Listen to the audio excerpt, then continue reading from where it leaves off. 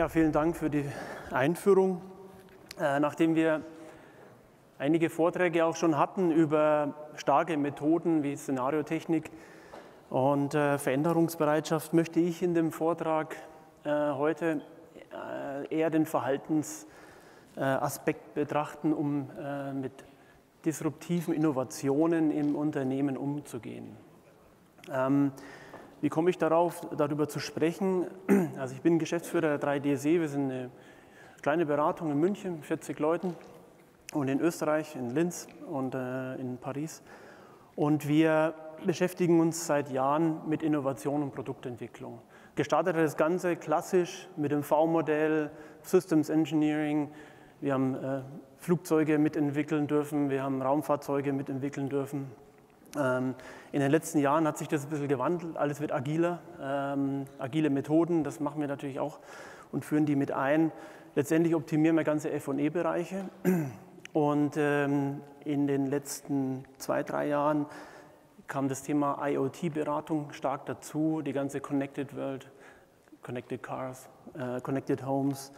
Und da merken wir natürlich einen veränderte, äh, veränderten Umgang mit Innovation, insbesondere im, im digitalen Umfeld. Unsere Kunden sind typischerweise ähm, etablierte, die klassischen erfolgreichen Unternehmen, ähm, die ähm, den Zyklus fahren und die Innovation weiter vorantreiben und äh, aus diesem Dilemma, wie das Innovators Dilemma, wie wir es schon mehrfach gehört haben, äh, ausbrechen müssen, können und genau an dieser Stelle stehen und entscheiden müssen, wie es weitergeht. Ihnen alle allen, Ihnen allen ist der Begriff Innovation bekannt. Ähm, er hat was Originelles, was Neues. Er letztendlich ist es eine effektivere Lösung für Kundenprobleme. Und das Entscheidende, es muss natürlich in den Markt einbrechen und, ähm, und auch erfolgreicher Markt sein. Ich weiß nicht, wer von Ihnen war denn auf der CES in Las Vegas, so diese Halbveranstaltung? Ich weiß nicht, wie es Ihnen ging. Ähm, ich gefühlt habe ich 70 Prozent dieser Innovationen ähm, ich gefragt, welches Kundenproblem wird eigentlich gelöst damit? Also ob ich jetzt meine Dusche mit Alexa starten muss, solange ich Armaturen habe, ich brauche es nicht. Ähm, es sind viele dieser Arten von Innovationen, aber es sind natürlich erste Schritte dahin und die Vielzahl macht es vor allem aus. Die Vielzahl der, der Aussteller, die Vielzahl der, der neuen Produkte, der, der Dienstleistungen, das war sehr interessant. Und natürlich gibt es einige Themen, die wirklich in den Markt einbrechen werden. Und äh, Beispiel nur 5G, äh, wenn wir unsere Datenübertragungsraten äh, potenzieren werden in den nächsten Jahren, welche Chancen bieten sich da? Welche Chancen für digitale, disruptive Lösungen, äh, wenn plötzlich eine Turbinenschaufel mit, äh, mit meiner Cloud kommunizieren könnte?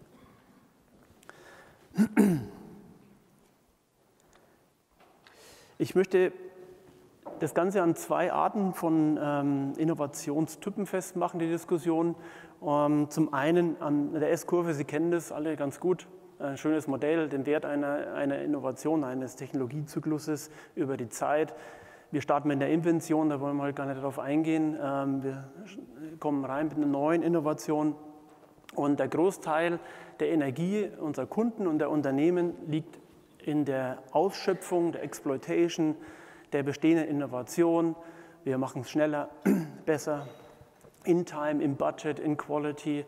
Ähm, wir versuchen Risiken da möglichst gut zu beherrschen ähm, und sind, stellen uns aber immer wieder die Frage, müssen wir nicht mal den Sprung auf eine neue, auf eine New Life Innovation, den Sprung im wahrsten Sinne des Wortes auf eine neue S-Kurve wagen. Und für beide Modelle, für beide Innovationsarten brauchen wir unterschiedliche haben wir unterschiedliche Lösungsansätze.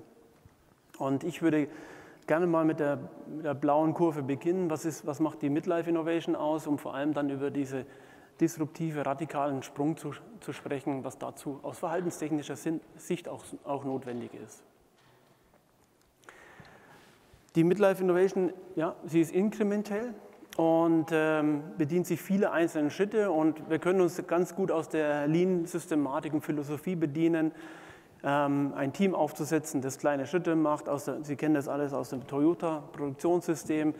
Ähm, das, das, System muss am Laufen bleiben. Ähm, eine Produktion kann im Jahr bis zu 1000 Veränderungen inkrementelle Schritte und Verbesserungen beinhalten, um das System schrittweise kosteneffizienter zu machen, dem Kunden, den wir kennen, den wir äh, gut kennen, noch besser zu bedienen und, ähm, und den Profit zu mehren. Letztendlich brauchen wir gutes Projektmanagement, momentan auch agiles Management, Product Owner, Projektmanager, die die Themen treiben, die oft in der Matrix zusammenarbeiten und die Produkte voranentwickeln. Letztendlich verglichen mit einer disruptiven Innovation geht es darum, schrittweise voranzugehen, durchaus langsamer voranzugehen. Und ich brauche disziplinierte äh, Mitarbeiter, die aus den Fachdisziplinen kommen, auch diszipliniert an den Themen arbeiten. Ich gehe die kleinen Schritte und vor allem lerne ich kontinuierlich äh, an den Problemen zu wachsen. Es ist gut, äh, Reklamationen vom Kunden zu, zurückzubekommen.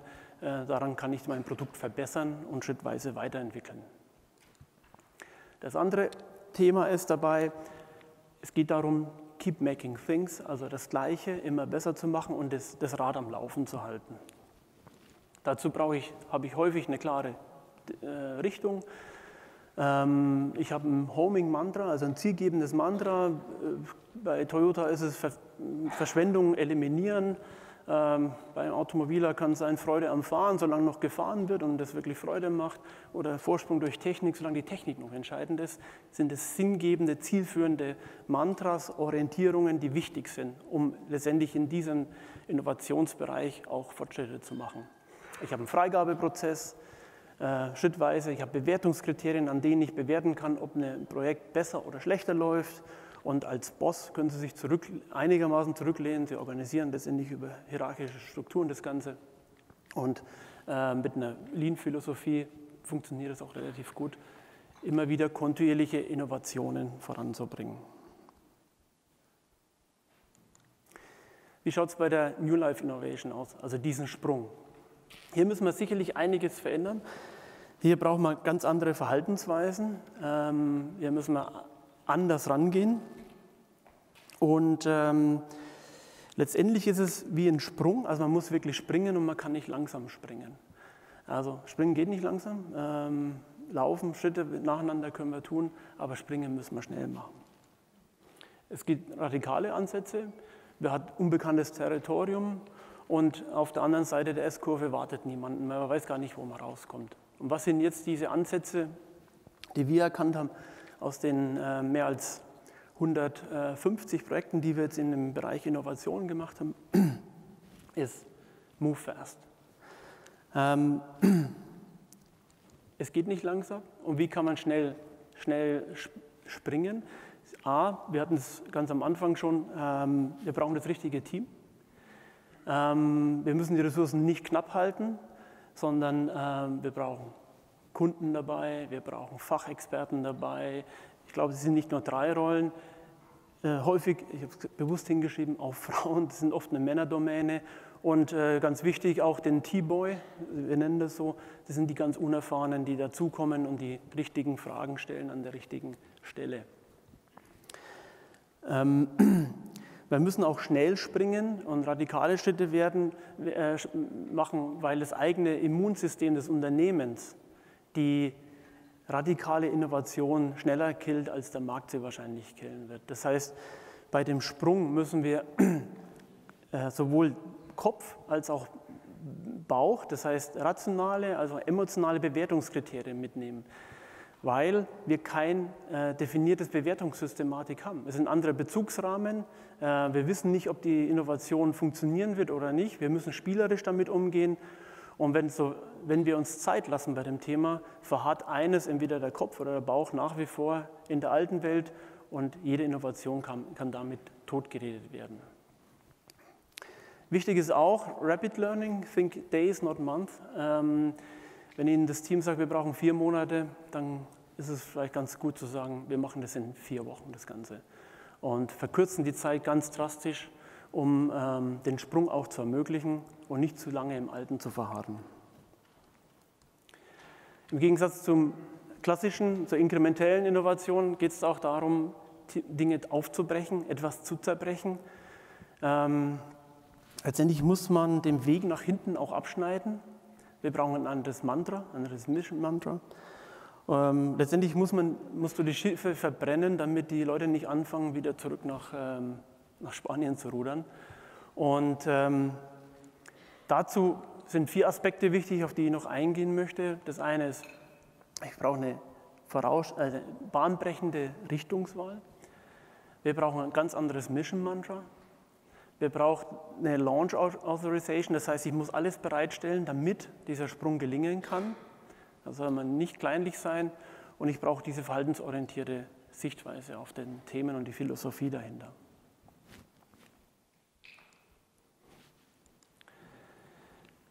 Pioneering Direction. Wie kriegen wir eine herausfordernde, bahnbrechende Richtung?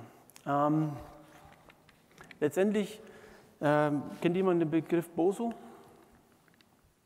Das ist äh, Slang für einen Clown, der sich selbst im Weg steht. Und ähm, letztendlich sind wir alle Bosos. Also wir verhindern unsere eigene Innovation selbst. Ich, was haben wir gelacht, als äh, Apple diesen, einen Computer ohne Tastatur rausgebracht hat? Also ich zumindest. Ja, wer braucht einen Computer ohne Tastatur, so ein iPad? Ähm, ich muss ja meine Dinge eingeben können, ich muss damit arbeiten können. Das, das ich, letztendlich bin ich der, der eigene Verhinderer der Innovation an der Stelle. Und Sie, Sie finden wahrscheinlich viele Beispiele auch in Ihrem Alltag, wo Sie selbst die Innovation verhindern würden, aus Ihrem Erfahrungskontext heraus. Wie gelingt es, aus diesem auszubrechen und eine bahnbrechende Richtung einzuschlagen? Man muss sich die latenten Kunden anschauen, also die Kunden hinter den Kunden. Wofür, äh, was, wer ist der Kunde, der hinter dem Nutzer steht letztendlich? Beispiel äh, an dem iPad. Ich habe meinen Kindern, meiner Frau ganz stolz das neue Sonos-System gezeigt, wie ich das alles regulieren kann. Da brauche ich keine Tastatur. Das ist cool. Ähm, letztendlich liegt der, der Mehrwert in dem iPad wahrscheinlich, ähm, wie cool der, der, Nutzer ist und wie toll. Und, ähm, und letztendlich muss ich dahinter schauen und diese latenten Excitement-Faktoren herausfinden. Und da gibt es Prozesse, um die, heraus, um die abzuleiten und äh, Chancen identi zu identifizieren, indem die Firma äh, mit ihrer Kompetenz, die sie heute hat, Felder entdeckt, die heute noch nicht belegt sind. Wir nennen das Wertströme. Wertströme erschließen sozusagen neue, latente Kundenanforderungen, Probleme, die noch nicht gelöst sind. Und die gilt es im Vorfeld zu erarbeiten und letztendlich differenzierenden Kompetenzen in zukünftigen neuen Kundenwert umzusetzen. das Mission Mantra. Ähm, anders als Freude am Fahren oder ähm, Wert ähm, zu ver, ähm, ähm, Verschwendung zu reduzieren, ist es, ähm, es ist relativ leicht, den Weg zur Hauptstraße zurückzufinden. Sie kennen das alle als Red Ocean. Das Handy noch ein bisschen besser machen, das Auto noch etwas zu verbessern, das Getriebe noch etwas besser auszulegen und letztendlich den Kundenwert schrittweise zu steigern. Schwieriger wird es, wenn wir wenn wir in äh, Blue Ocean rein wollen, also wirklich neue Nischen entdecken wollen. Da muss man 100 Türen aufmachen, bevor mal überhaupt eine Nische interessant wird. Und dieses äh, müssen Sie auch in der Organisation zurückspielen. Das heißt, Sie müssen dem, dem Team, dem, der Struktur die Möglichkeit geben, auszuprobieren, zu lernen. Ähm, und letztendlich auch ein Gefühl, ähm, ein Gefühl für die Nische zu, zu bekommen, für den neuen Markt, der heute noch gar nicht bewertbar ist. Und das geht, da ist Emotion wirklich stark, emotionale Bewertung der Ideen mit dem Pilotkunden zusammen, der selbst auch noch gar nicht die Lösung kennt und seine Anforderungen wirklich kennt.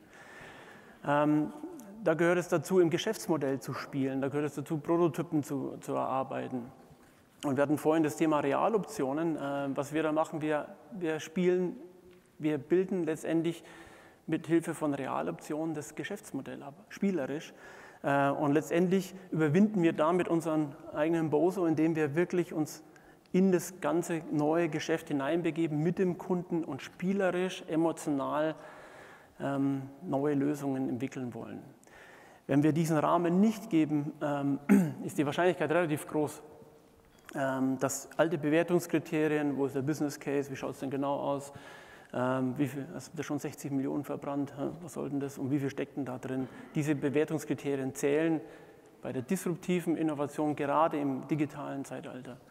Sind die nicht vorhanden und wir müssen sie uns schrittweise erarbeiten. Launch Authorization. Ganz wichtiger Punkt, um im Gegensatz zur inkrementellen Innovation, wo Sie wenige Ressourcen, knapp, knappe Ressourcen bereitstellen, äh, dürfen Sie aus unserer Sicht äh, bei dem Sprung, müssen Sie alles Notwendige bereitstellen äh, an Kompetenzen, an, ähm, an Fachleuten, aber vor allem reduzieren Sie die Zeit. Es macht keinen Sinn, das ewig lang zu machen, sondern sagen, short in time, gehen Sie, geben Sie dem Team wirklich die Sporen und sagen, nicht vier Monate, sondern wir machen das in zwei Wochen. Kommt mit der ersten Lösung. Ihr müsst es nicht in 100 Prozent detaillieren, sondern ähm, begreift das Problem in Summe und bringt mir die ersten Lösungsvorschläge und dann gehen wir in den nächsten Sprint hinein. Und ähm, das ist ein ganz entscheidender Faktor, der aus unserer Sicht häufig ähm, vernachlässigt wird, weil man dem Team dann doch Zeit gibt, man organisiert es doch klassisch und lasst euch mal, holt euch mal da einen Experten, wenn ihr ihn braucht. Nee, bringt die Ressourcen zusammen in einen Raum für eine gewisse Zeit und spendiert die Ressourcen. Ein anderer Aspekt, für der auch wichtig ist, ist, ähm, eine taffe Jury zu wählen. Also von Top-Experten außerhalb der Organisation, innerhalb der Organisation, die bewerten können, ob eine Lösung funktioniert. Ich glaube, äh, wenn man die Koryphäen und Professoren fragt, die können einem gut sagen, wann das etwas funktioniert. Und das ist, aber man ist vielleicht nicht so richtig, oder sie sind oft falsch, wenn sie sagen, das, das funktioniert nicht, dann kann es trotzdem funktionieren. Das heißt, nutzen Sie diese taffe Jury, um Lösungen zu identifizieren, die funktionieren können. Und geben Sie durchaus die Verantwortung ab und sagen Sie dem Team, ähm, ich, ich will es gar nicht bewerten, überzeugt die Jury und dann äh, wird das Ding auch weiterlaufen. Zum verhaltensorientierten Ansatz. Wir brauchen ähm, eine ganz andere Fehlerkultur. Ähm, wir müssen einen sicheren Rahmen schaffen, in dem, auch wenn er nur für zwei Wochen ist oder für vier Wochen, in dem wirklich out of the box gedacht werden kann. Ähm, letztendlich müssen wir mit Angst umgehen, Ängsten, die auch in dem Team in der Regel vorhanden sind. Ähm, man spielt ja gegen, man, man ähm, man spielt gegen das eigene erfolgreiche System. Ähm, dazu müssen wir auch in die Emotionen tauchen. Wir müssen äh, Freude haben, wir müssen Kunden mit reinkriegen, wir müssen spielerisch mit den Ängsten umgehen und die uns ständig gegenspielen und bewerten, damit das Team aus dieser, aus dieser Gefangenheit herauskommt, äh, das gleiche Erfolgsmodell zu wiederholen, sondern wir müssen mit den Erfolgsregeln brechen. Nehmen Sie das Team raus, zwei Wochen Urlaub kann jeder nehmen, nehmen Sie das Team zwei Wochen aus dem Geschäft heraus und arbeiten Sie wirklich in einem sicheren äh, Environment mit dem, mit dem Team. Ein guter Frühindikator aus unserer Sicht für Innovation in einem disruptiven Umfeld oder einem digitalen Umfeld ist dieses Let Go of Control. Letting Go ähm, ist ein früher guter Indikator, ob ein, ein System ähm, machtfrei, in einen machtfreien Raum geht und Sie als Boss oder Verantwortlicher auch mal Verantwortung abgeben. Und genießen Sie das Power-Vakuum, wenn, ein, wenn eines entsteht, geben Sie die Verantwortung ab, weil, wenn Sie es spüren, wird auch Ihr Team es spüren. Und darum geht es an der Sache. Das Team muss diese Verantwortung übernehmen. Sie müssen sich duplizieren als Boss. Und das schaffen Sie dadurch, dass Sie im Prinzip dem Team den Rahmen geben und die Verantwortung schrittweise abgeben und die Insignien der Macht auch etwas rausnehmen. Da gibt es, das kennen Sie wahrscheinlich sogar auch, einfache Mittel, selbst im Kleinen, in diesen Arbeitsrunden, in diesen Workshops, dass sich nicht jeder an den gleichen Platz zur gleichen Zeit setzt, sondern dass das immer wieder durchgemischt wird.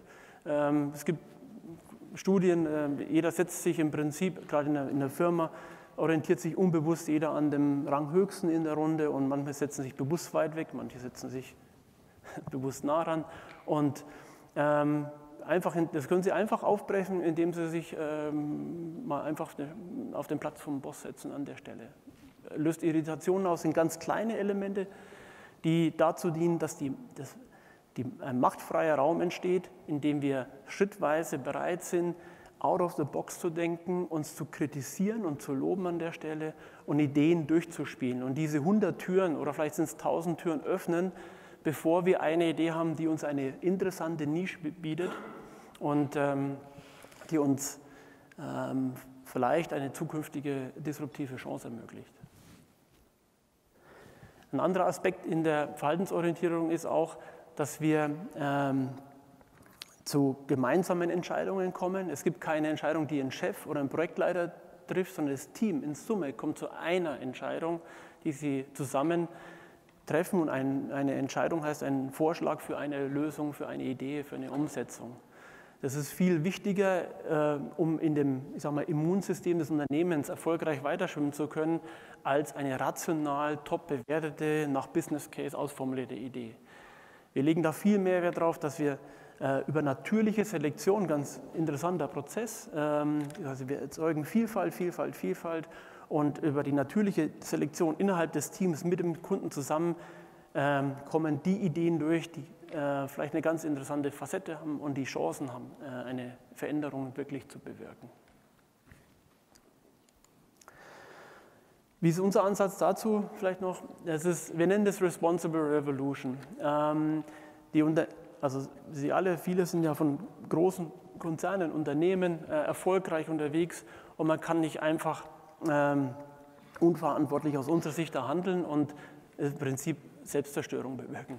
Man braucht einen sicheren Rahmen, in dem das funktionieren kann. Ähm, und ähm, die Ausgangssituation ist oft die, äh, Sie sind erfolgreich, Sie spüren etwas, uh, there's something out there, ähm, das könnte interessant werden, aber unsere Ressourcen sind auf, ähm, auf, die, auf das Abschürfen, Aus, Ausschürfen, Abschöpfen der bestehenden Projekte und Innovationen gebunden. Äh, Im ersten Schritt gehen wir dazu über, wir nennen es Awareness Couch, und da kommen die Szenarientechniken, Technologietrends zum Einsatz, um mit dem Kunden gemeinsam zu, äh, zu abzuleiten, ist ein, ist wirklich eine Bedrohung vorhanden? Macht es Sinn, den nächsten Schritt zu gehen? Oder ähm, bleiben wir im alten Modus und verändern das System gar nicht? Denn der nächste Schritt ist dann mit dem Kunden in ein Basecamp. Da geht man auch mal raus in, in eine Laborumgebung, äh, wirklich kreativ, also kreative, disruptive Optionen zu generieren. Also das heißt einzelne Geschäftsmodelle, Features, äh, ganze neue Systeme. Ähm, und wirklich diesen Freiraum zu generieren, das zu öffnen. Und dann haben wir festgestellt, macht es keinen Sinn, in Laborumgebungen weiterzuarbeiten, die außerhalb des Unternehmens sind. Dann ist es viel besser, ins Unternehmen wieder zu gehen, einen abgetrennten Bereich zu haben, dort ein Lab aufzubauen, das die, äh, letztendlich für die agile Businessmodellausentwicklung und vor allem Verifizierung, Validierung des Businessmodells. Da kann man die Kunden reinholen, da kann man die die Produkte auf die, gesamt, auf die bestehenden Produkte aufspielen. Ähm, und ähm, wir bieten letztendlich jetzt das Ökosystem, das gestalten wir ganz gezielt für den Kunden aus.